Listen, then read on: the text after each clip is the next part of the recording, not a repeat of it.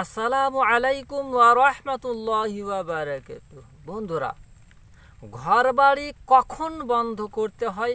কি নিয়মে বন্ধ করতে হয়? আজ আপনাদেরকে এই ভিডিওর মাধ্যমে শিখিয়ে দেব ইনশাআল্লাহ ঘর বাড়ি বন্ধ করার নিয়ম নীতি। কীভাবে আপনি আপনার নিজের বাড়িটাকে বন্ধ করে নিতে পারবেন? কথা বলব আজ সেই প্রসঙ্গে।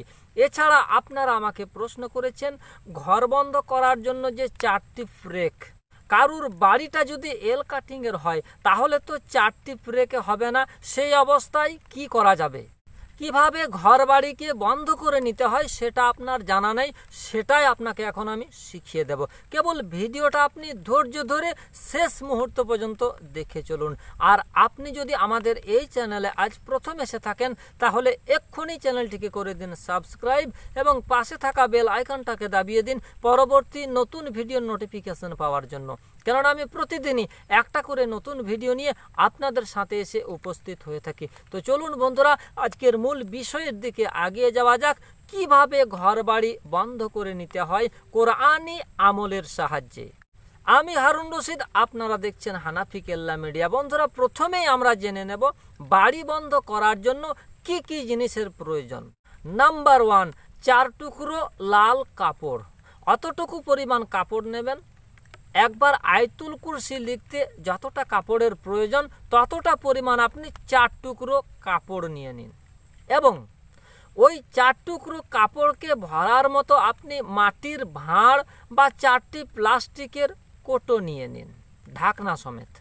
এবং একশো গ্রাম সরিষার দানা নিন। তাছাড়া আরও যে জিনিসটার প্রয়োজন, সেটা হলো চারটি লোহার ব্রেক সেই ব্রেকটা আপনি নেবেন ছয় ইঞ্চি অথবা আট ইঞ্চি। এবার আপনাকে ওই জিনিসগুলোকে নিয়ে যে কাজগুলো করতে হবে, প্রথমেই আপনাকে ওই চারটি লোহার ফ্রেকের উপরে সোরা তারিখের পনেরো, ষোলো এবং সতেরো নম্বর আয়াত পঁচিশ বার পাঠ করে পঁচিশ বারই ওই ফ্রেকের মধ্যে আপনাকে ফু দিতে হবে। এবং একবার সুরা মোজাম্মিল পাঠ করে ওই চারটি লোহার ফ্রেকের উপরে আপনাকে ফু দিতে হবে।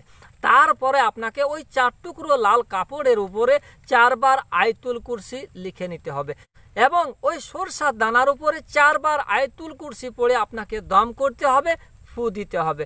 তারপর আপনি যেটা করবেন, ওই মাটির ভাঁড়ের মধ্যে বা প্লাস্টিকের কোটোর মধ্যে আপনি ওই আয়তুল কুরসি লেখা কাপড়গুলোকে ভরে দিন। এবং ওই সর্ষের দানাগুলোকে চার ভাগে ভাগ করে চারটি কোটো বা ভাঁড়ের মধ্যে আপনি ভরে দিন। ভরে দেওয়ার পর আপনি ওই প্লাস্টিকের কোটোটাকে খুব শক্তভাবে ঢাকনাটা আঁটিয়ে দিন বা ওই মাটির ভাঁড়ের উপরে আপনি ঢাকনাটাকে লাগিয়ে দিন বা চাপিয়ে দিন। এরপরে আপনাকে বাড়ির সীমানার চারদিকে চারটি কোণে আপনাকে চারটি গর্ত খুঁড়ে নিতে হবে। এবার প্রশ্ন হচ্ছে, আপনার বাড়িটা যদি এল কাটিংয়ের হয়, তাহলে আপনি কি করবেন? প্রথমেই আপনি দেখে নেবেন আপনার বাড়িতে কয়টা কোন দাঁড়াচ্ছে যটা কোন দাঁড়াবে তটা আপনাকে ব্রেক নিতে হবে এবং তটা আপনাকে লাল কাপড়ের উপরে আয়তুল কুরসি লিখে নিতে হবে এবং ওই সরিষার দানাগুলোকে তয়টা ভাড়ের মধ্যে আপনাকে ভরে নিতে হবে।